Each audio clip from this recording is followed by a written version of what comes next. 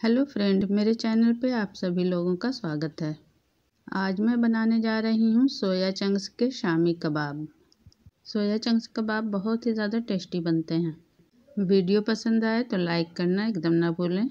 मेरे चैनल को अभी तक सब्सक्राइब नहीं किया है तो सब्सक्राइब कर लें। चलिए तो हम इसे बनाना शुरू करते हैं। सबसे पहले सोया चंक्स को हमें दो मिनट के लिए उबालना है।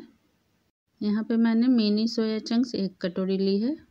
पानी में उबाल आने लगे तो इसमें सोया चंक्स को डाल दें। दो मिनट सोया चंक्स को उबालने के बाद फ्लेम को ऑफ़ कर दें। इसे उबलते हुए दो मिनट हो चुके हैं। फ्लेम को ऑफ़ कर दें और इसे हल्का सा ठंडा होने दें।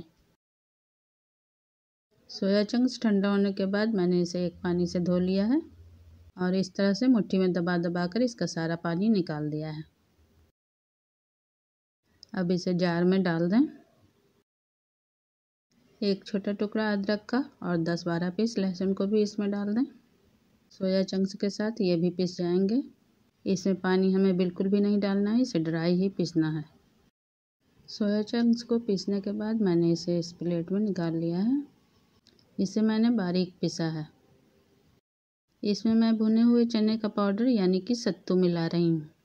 बड़े चम्मच से एक बड़ा चम्मच और आधा बड़ा चम्मच मिला लें। और इसी के साथ इसमें एक मीडियम साइज़ प्याज को इस तरह से बारीक काट कर मिला लें। थोड़ी सी खटास लाने के लिए आधे नींबू का रस मिला लें। दो पीस हरी मिर्च को बारीक काट कर मिला लें। थोड़ा सा धनिया पत्ता को अच्छे से धोने के बाद बारीक काट कर मिला लें। आधी चमची गरम मसाला पाउडर मिला लें। गरम मसाला पाउडर बनाने का लिंक आप हमारे डिस्क्रिप्शन बॉक्स में देख सकती हैं। एक चौथाई चमची लाल मिर्च पाउडर मिला लें। वैसे तीखा आप अपने हिसाब से डाल सकती हैं। एक चौथाई चमची काली मिर्च पाउडर मिला लें। एक चौथाई चमची ज़ीरा पाउडर मिला लें। आधी चमची नमक मिला लें। अब सभी चीज़ों को बहुत अच्छे से मिक्स कर लें।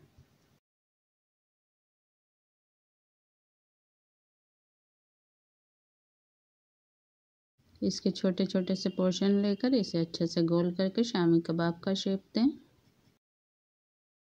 मैं यहाँ पे मीडियम साइज़ के शामी कबाब बना रही हूँ।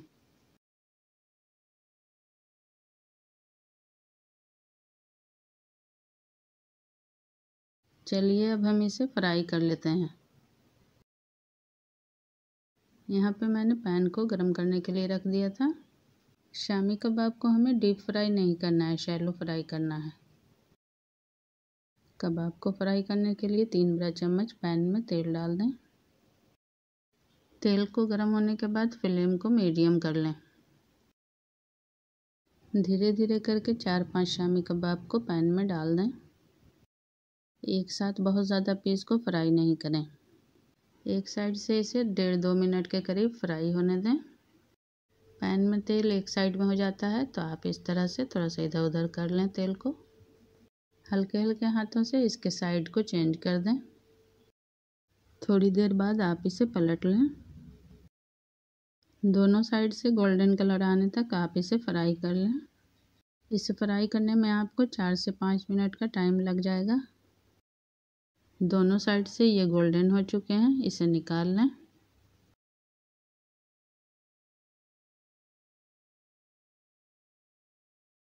इसी तरह से कबाब का दूसरा बैच भी फ्राई कर लें।